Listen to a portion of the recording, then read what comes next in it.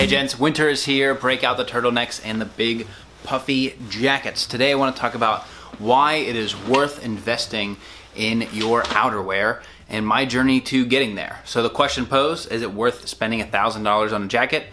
Not for everybody, but if you can, you should.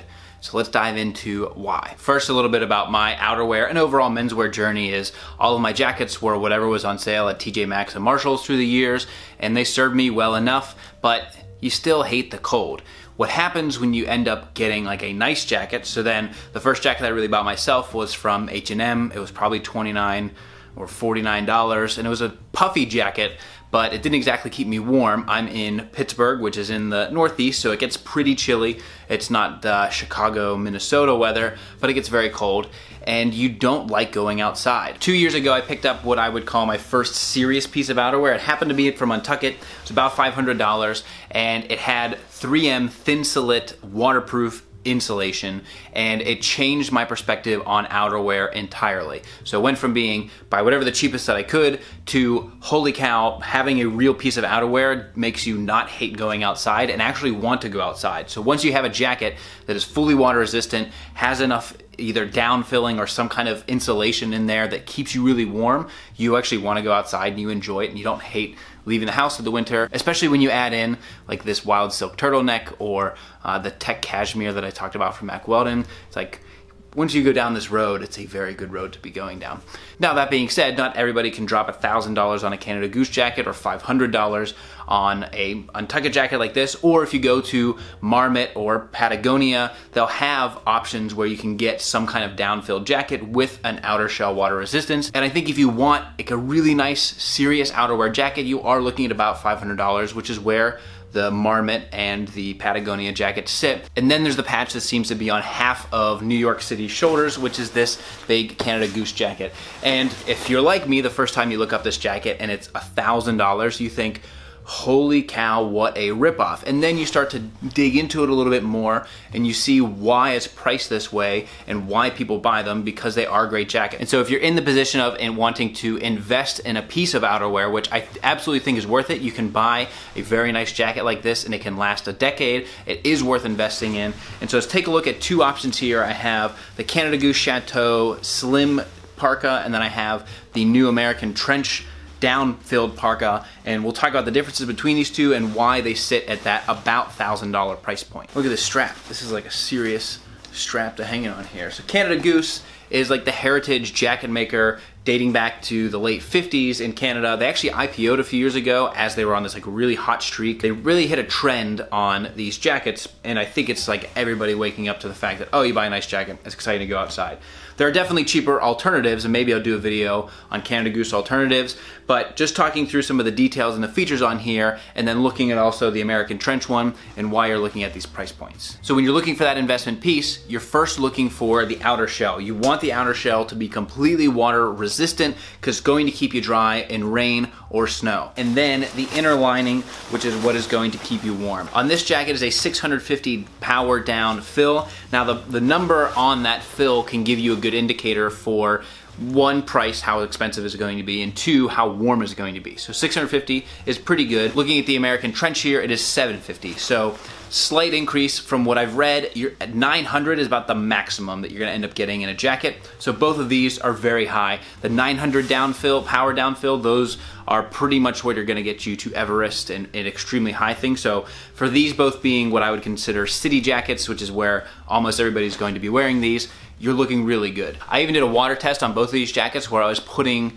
uh, increasing amounts of water on these for extended periods of time to find the difference between these two because the other major difference and what really sets the American Trench apart, especially in price from the Canada Goose, is these will both keep you dry. What I found is that their water will eventually penetrate the Canada Goose after a certain amount of time, but the ripstop ventile on the American Trench jacket is truly amazing. I have one of their Ventile jackets. It's a spring uh, rain jacket. And the Ventile fabric is a Swiss-made fabric developed by the Royal British Air Force in Second World War, and it is made to never get wet. It was made as a jumpsuit for pilots to go into freezing cold water and survive, and that's the type of type of technology that is used in this jacket, and it's amazing. So the Ventile ripstop fabric on the American trench jacket is probably the thing that sets us apart the most. And then on the inside, you have the downfill, and then you have the inner lining. And so that's why you see the price jump between these two, but it's also why you see the premium over a jacket like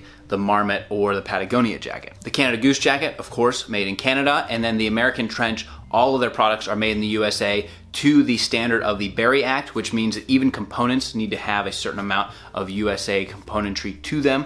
And so you are getting a completely made in the USA product with the Swiss made Ventile fabric and the Italian zippers on there. And as I found over time, just because something is made in the USA doesn't mean that it's better made, but that is the mantra of Trench is that they only make it with the highest quality materials and the best stuff that they can find. And the downfilling on both of these does have some humanity to both of them. So the American Trench one uses traceable down from Downlite, and that means that their entire supply chain is checked for humane activities through the process. And then Canada Goose also has their own down transparency standard that helps to make sure that you're getting good product within there and nothing that truly harms animals, which is something that I really like about Patagonia as well. They use a lot of recycled down and some of their own products that come back and they're made into new ones, which is very cool. What I was struck by the first time I put on the American Trench Jacket, the inner lining on the American Trench Jacket, uh, it's one of those things that when I put it on for the first time, I thought to myself, holy cow, what is going on here? It is so soft. It is a ripstop silk nylon peak and it's luxurious. The only way to describe this is luxurious. It's soft to the touch, but you can tell that it has some rigidity to it. It keeps you very warm, but I, was also struck with both of these. So I've had both of these jackets for about three weeks, and so transitioning from outdoors to indoors. So whether you're walking around the streets, you go down to the subway where it can tend to be very hot when you're in New York, or if you're going into an office or into somewhere else, the way that they're able to adapt and adjust and not keep you overly heated, I think is one of the nice things about the inner linings that both of these jackets use. Plenty of pockets in the Canada Goose jacket, both on the outside and on the inside, zipper pocket on the inside, and then a nice kind of flannel lined pocket on the outside for your hands. And then on the American Trench jacket, also, plenty of pocketry in, in there. On the inside, you have one of the pull strings, which are military grade pull strings in order to slim the jacket down, make it hug your body, and really get you a lot of tight. You can loosen it up if you're layering and you have a few pieces in there. On the outside, what's really interesting, it actually took me a full week to realize this is how the pockets worked. So you have the exterior flaps with the buttons on there, but then behind basically back on the side as you would with a normal pocket, you can slide your hands into the pockets as well for easy to keep your hands warm. Those are flannel lined too, extremely comfortable. And so it's a, it took me a little bit to find that feature in there because I'm so used to having like the chest pockets, like on a pea coat, I have a lot of jackets that have the pockets up here, but having them down there is nice and having them kind of hidden to not really take away from the rest of the jacket's aesthetics is very cool too. And then let's talk a little bit about the zipper mechanism on the front. So with the Canada Goose, you have a pretty hefty YKK plastic zipper. And then on the American Trench, this is where you're seeing another bit of a premium touch to that jacket. You have an Italian made SZA zipper, which is metal. And I, I'm really curious. I, I wonder the difference between the two. Like, is it better to have plastic in sub freezing temperatures versus the metal? I've never found any of these metal zippers to fail on me at all. The plastic ones sometimes can get a little bit junked up. And both of the zippers, interestingly, the mechanism is on the left side of the zipper and it kind of broke my mental model of zipping a jacket because I'm, I'm right-handed I'm so used to doing on the right side the that first jacket I talked about that I wear almost every single day right side and so it takes a little bit of adjustment to get used to but I really like the metal finish and the, and the, metal zipper that is used on the American Trench. And then on the exterior, you have these big chunky buttons on the Canada Goose, which can make it pretty easy for zipping and buckling with gloves on. But the way that American Trench gets around that is they have a push button. So instead of on the Canada Goose, you have a standard like button hole and you push the button through the hole. And then on the American Trench, you have a push button, which you can push in and clasp, which I found easier uh, with the gloves. Small detail on there, but this whole channel is all about is comparing tiny details of products like this. And there's also just a tiny difference in the sleeve design on the Canada Goose versus the American Trench. So in the Canada Goose, the cuff comes up beyond the sleeve length of the jacket. And then on the American Trench, the cuff is better made cuff. I can feel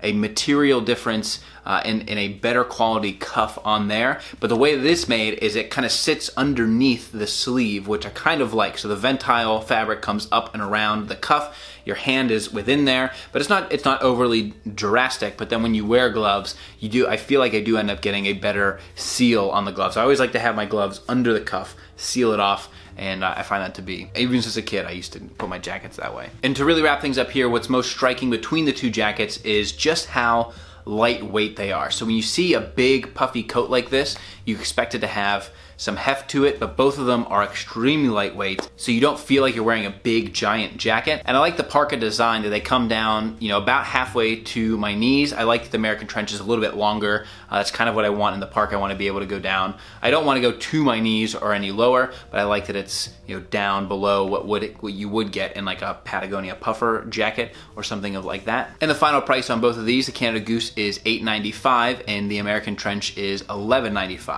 I think the, the difference you you're seeing there, I talked about in the Ventile fabric, the zipper, the made in the USA aspect. That's why you're getting a little bit more of a, of a higher price and, and some better made materials in the American Trench one. There are Canada Goose jackets that definitely push up into the $1,000 plus range, some of the fur lined ones. This isn't, you know, you will have more color and variable options in the Canada Goose one.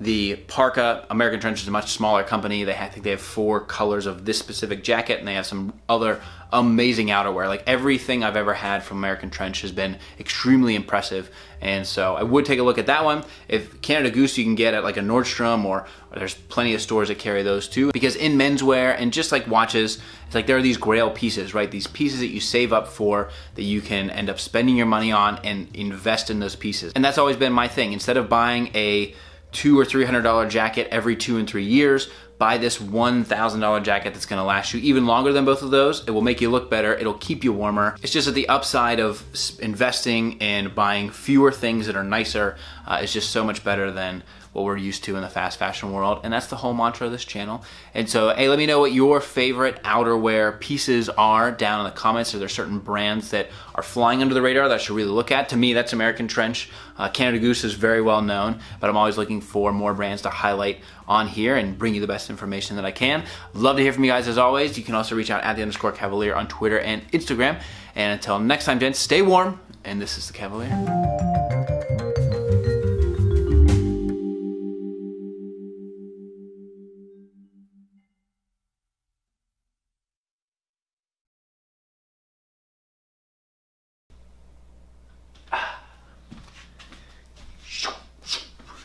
Turtleneck sweater.